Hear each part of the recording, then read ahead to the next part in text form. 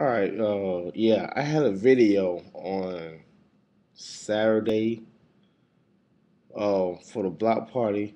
For some reason, I couldn't upload upload it to YouTube, but I'm gonna tell you how it went down. It was a pretty good turnout. Everybody enjoyed themselves. You know, uh, the city got a plaque for the neighborhood that we're doing. You know, because I I rocked the crowd as usual. But uh, other than that, it was a pretty good turnout for the block party. I enjoyed myself, you know, and uh, hopefully do again next year. And hopefully, I will have a video on when that's my DJ. So hopefully, y'all y'all, y'all get to have some uh, good music and everything like that. Peace.